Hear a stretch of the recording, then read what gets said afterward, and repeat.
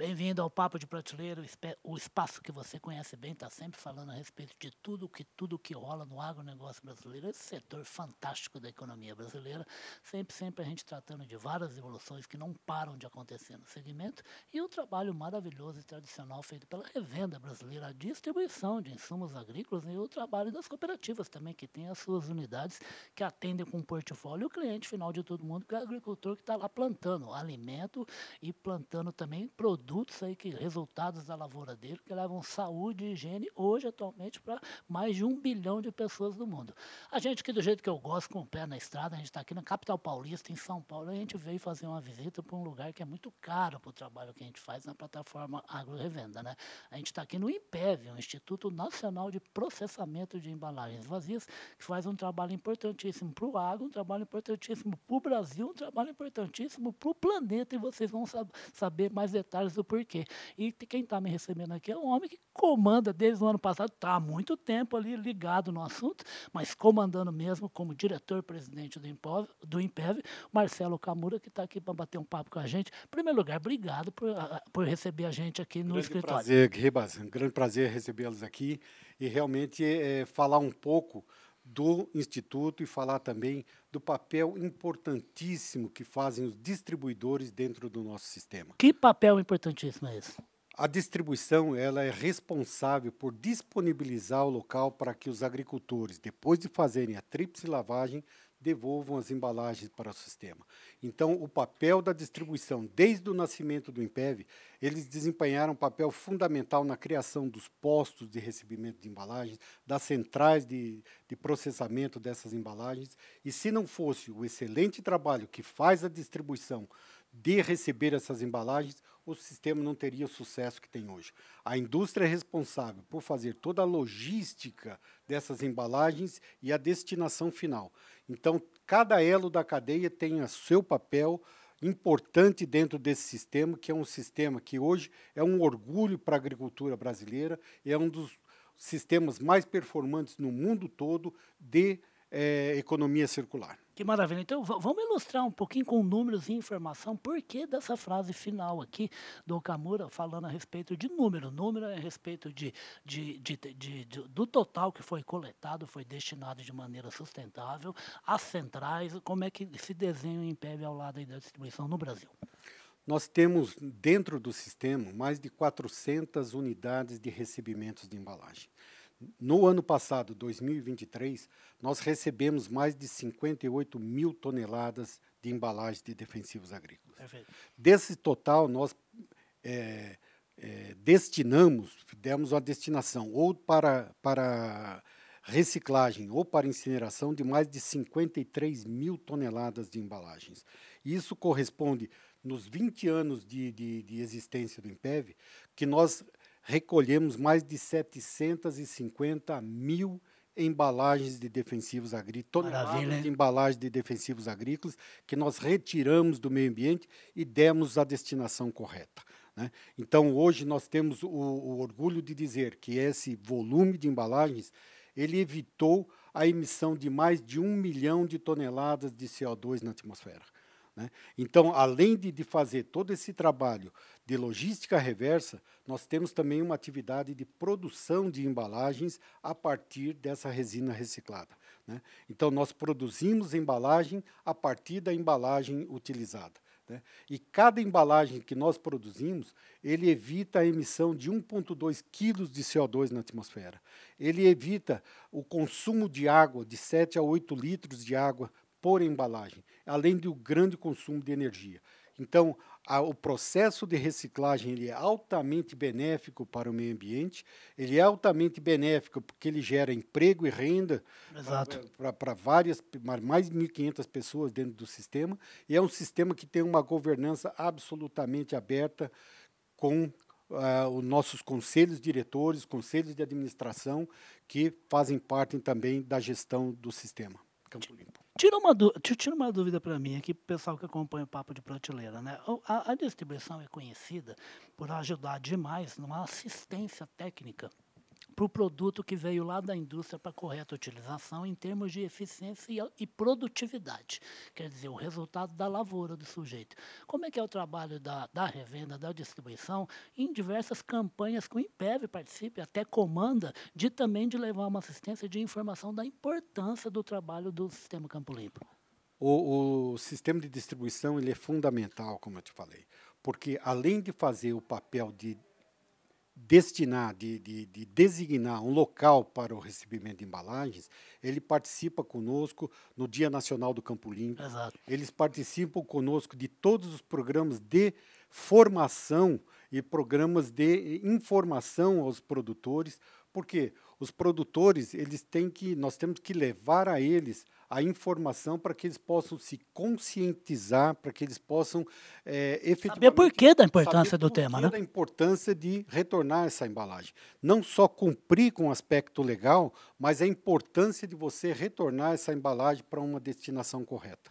Né? Então, a revenda é um parceiro muito grande do sistema, e que nos reforça cada vez mais, não só com essa parte educacional, mas com a parte também dos recebimentos itinerantes. Porque nós temos pequenos produtores em vários locais do Brasil. Um dia a dia esgoelado de trabalho, um né? dia a dia deles com dificuldade e também tem uma logística difícil dele retornar a embalagem. Então, os, os distribuidores fazem parte do sistema de propiciar essa essa coleta itinerante que nós chamamos de ir mais próximo do produtor e dar a eles a, a, a chance de retornarem a embalagem, cumprir com a função legal e cumprir com a função ambiental desse retorno de embalagens. E o Impev também está de olho no filhinho, no netinho desse produtor rural, né? Com um Exatamente. trabalho de informação muito bacana, né? Inclusive, vários eventos que eu vou, tá lá o boneco representando o sistema Isso. Campo Limpo. Já, até, já fiz pergunta para ele até. ele responde com a mão, assim. Então, o Olímpio, né, que, que, que, representa o Impev, que, né, que é o, o, espantalho que representa o Impev, que é o nosso personagem aí, que está sempre próximo em todos os eventos que a gente faz. Né? E nós temos um, um, uma atividade, o Ribas, que ele é fundamental de educação, nosso programa de ensino ambiental.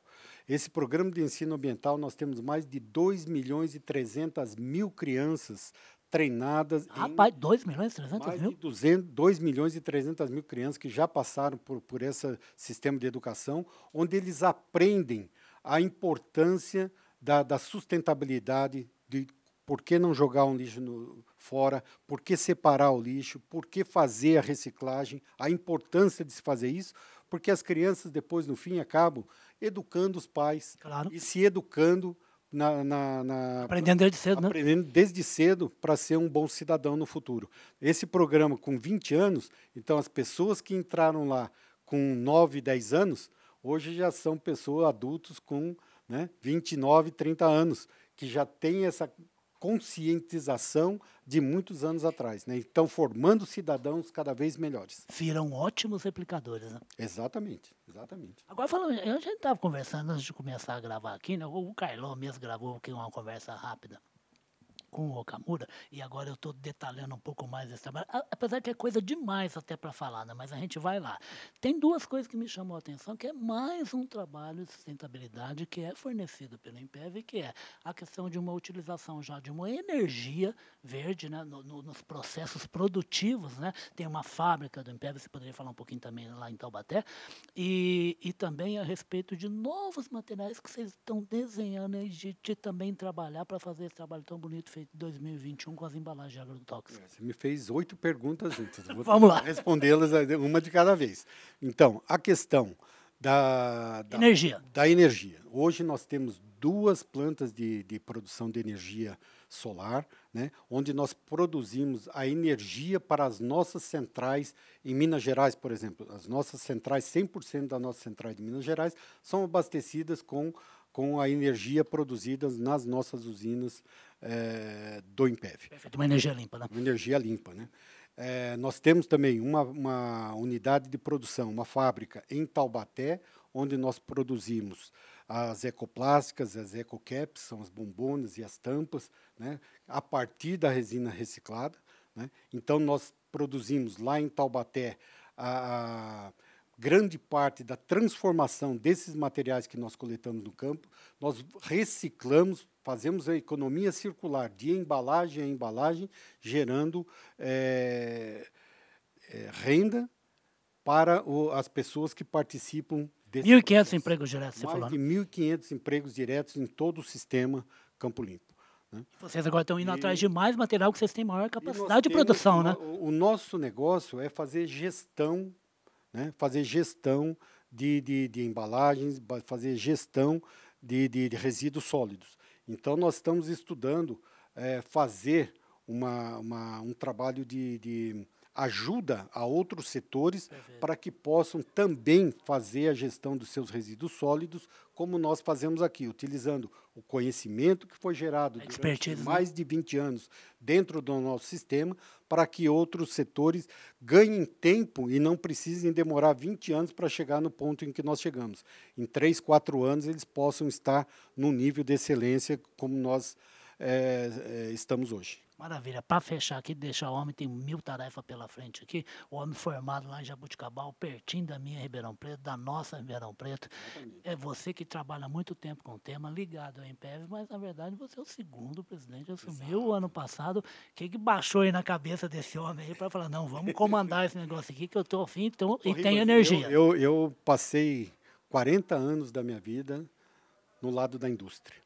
Então, eu trabalhei em várias indústrias, trabalhei em várias posições em várias indústrias, onde eu tinha como objetivo colocar o máximo possível de embalagens no mercado. Perfeito. Hoje, eu trabalho coletando o máximo possível de embalagens que a indústria coloca no mercado. né? Então, eu acho que depois de tantos anos trabalhando nessa indústria química, eu, eu acho que é uma devolução desse trabalho para a sociedade, fazendo esse trabalho bacana de sustentabilidade dentro ainda do setor de agroquímicos. Que maravilha, um trabalho maravilhoso. Esse homem que comanda o Impev desde 2023, ano passado, o Instituto foi criado na virada do século, em 2021, e atua para quê? Para ajudar nessa mecânica toda de produzir alimento e produtos de saúde e de higiene para o mundo inteiro. Né? E essa mecânica toda envolve também respeitar demais o meio ambiente e fazer com que tudo que seja usado nele com essa finalidade seja reciclado, não estrague o planeta, ajude sim pessoal a ganhar dinheiro, mas também ajuda todo mundo a cuidar de si, dos seres humanos e do planeta. Muito obrigado e sucesso na sua tarefa nova. Tá? Pelo Ribas. O prazer, é, o prazer é todo meu, tomara que tenha mais próximo assim, porque trabalhos como o Impev que chama atenção. Depois a gente vai conversar mais coisas sobre isso. Tem gente que vem para cá saber por que, que o Impev faz tecnologia própria aqui no Brasil no trabalho com esse material que é reciclado. É muita coisa boa e isso que é importante. Papo de prateleira, plataforma Agro Revenda, falando sempre com gente que ajuda o agronegócio brasileiro a ser sustentável de ponta a ponta do que faz. Um abraço.